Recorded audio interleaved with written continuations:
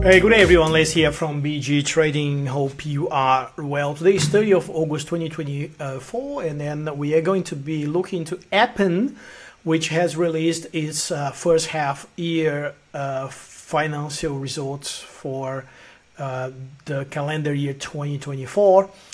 Uh, we're going to be looking to uh, the variables that has made the stock to fall and also what is the outlook for uh, potentially uh, buying back Appen and uh, which is the level that we'll be looking buying back Appen provided that we have recently uh, done a 75% profit trade on Appen together with uh, some of our VP members.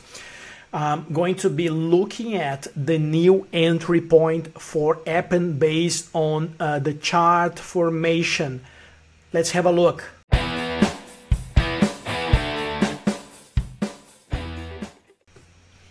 Remember, this is not a financial advice, just as from BG Trading, sharing with you how we apply our strategies to know when to uh, buy and when to sell stocks, how we set up targets, stop losses, and how we avoid uh, buying stocks in the FOMO area, which is one of the most common mistakes by traders and much more. So if like, please subscribe, share this video, and hit the like button help us because hitting the like button will spread the view on this video.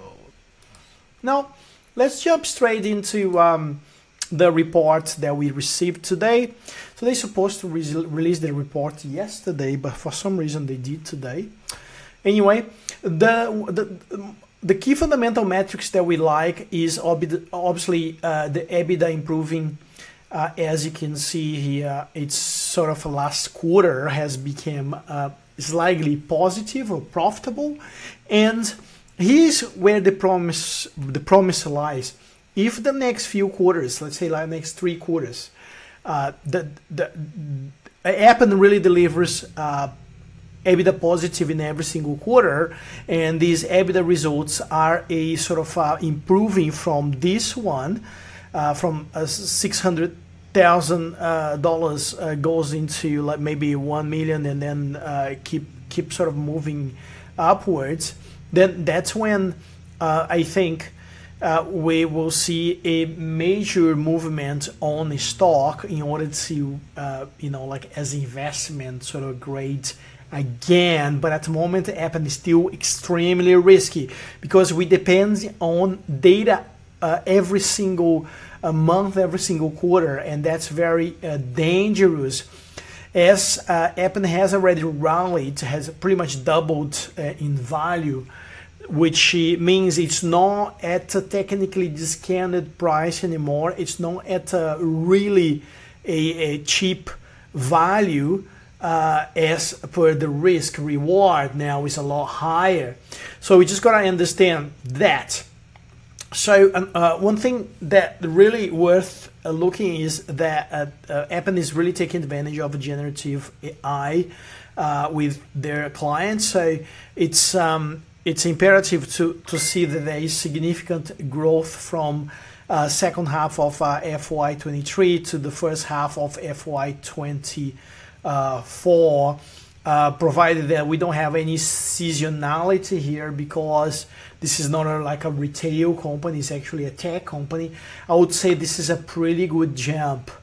And if uh, this uh, continues, if Appen uh, manage to deliver this revenue growth on continuous uh, base, we are very likely to see in the neck in the second half of the calendar year FY24, which is also the, the, the, financial year for Appen, we're very likely to see a uh, revenue uh, break even or above what Appen was generating uh, before losing Google accounts. Uh, so obviously uh, the Chinese market has been one of the key uh, he help here for Appen to start sort of improve its fundamentals once again. As you can see here, the, uh, the record revenue for China in Q2. And if you look Q1 FY23, Q2 FY23, and then now Q2 FY24, uh, it's uh, uh, almost like almost doubled from the last uh, uh, the last um, the same period uh, last financial year. So it's a significant improvement, and that's exactly what we wanted to to uh, be looking at. So enter, enterprise government revenue is still sort of uh, uh, hanging there. Uh, so I think the whole the, the promise really lies in genera- generative AI and how uh, Chinese market, the customers in China will reflect into the company growth. That's where I think we'll be betting at the moment. But if you look in the fundamentals, still the company is still uh, uh, reporting a, a loss for the year and uh, obviously is improved from the last financial year. Uh, Appen has about $34 million in a cash a balanced. So it's um, it's not too bad uh, if Appen becomes, uh, in fact, indeed, uh, EBITDA positive. Now, the strategy Appen specialized in high quality data that brings human expertise into AI model development. So it's a quite complex uh, business, but what we really wanted to be looking at uh, is uh, the fact that Appen uh, has uh, major clients that um, that continues to use the services. Let's see if I uh, see the page which shows uh, the clients here oh, that was on my stock analysis so they still have major clients even though has lost google uh, and the promise is that those uh, major clients uh, continues to contribute positively to the overall revenue growth for the upcoming quarters so that's positive.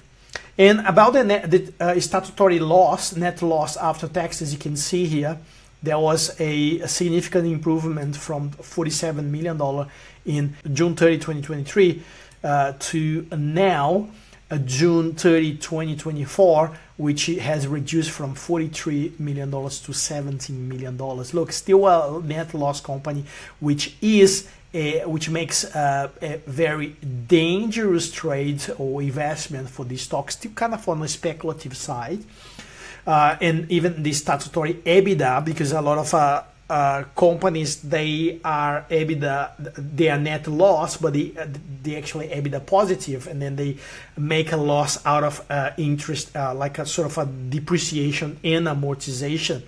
So for Appen, uh, so he's still at a six million dollar net loss for uh, the first half of this uh, this financial year.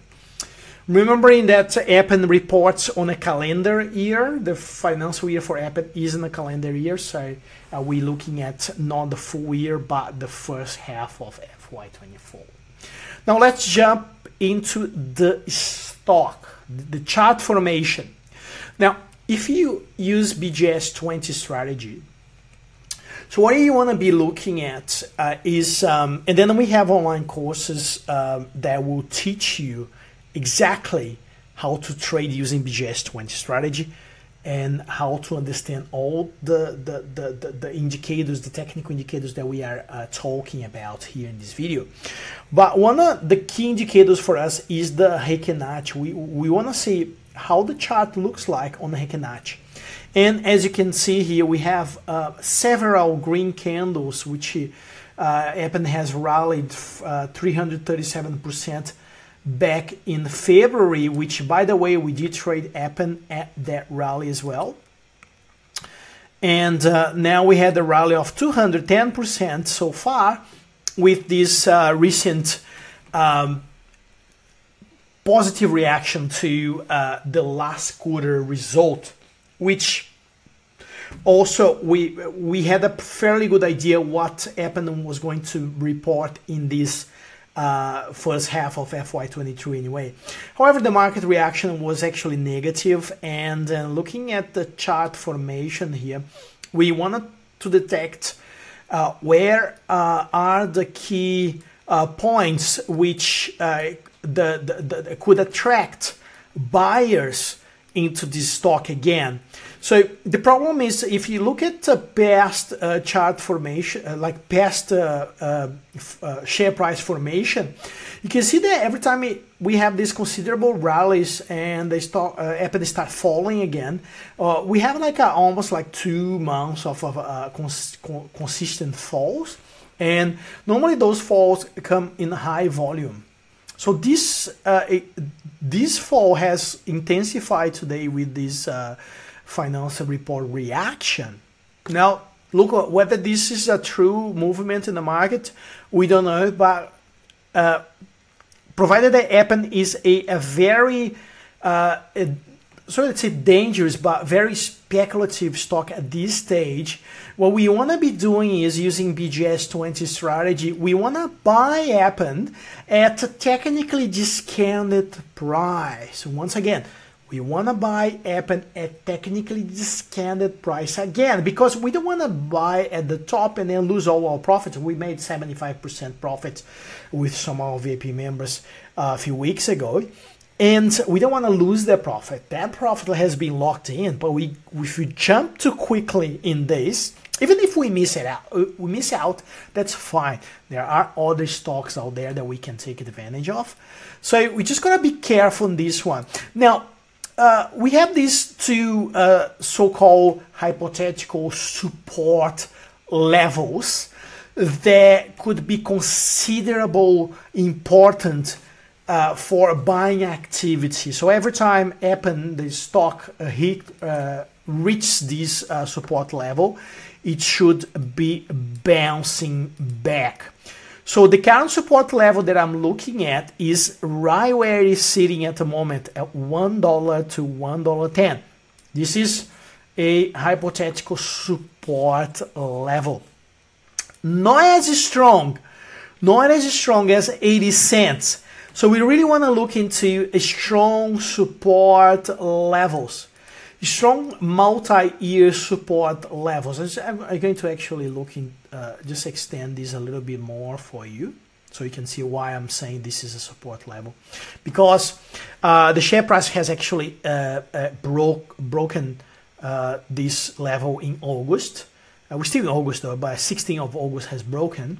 And, and obviously now it is um, trying to break down if it breaks down, obviously this support level will become a resistance level and uh, the share price maybe test the next support level, which is uh, represented at A here on this uh, modeling.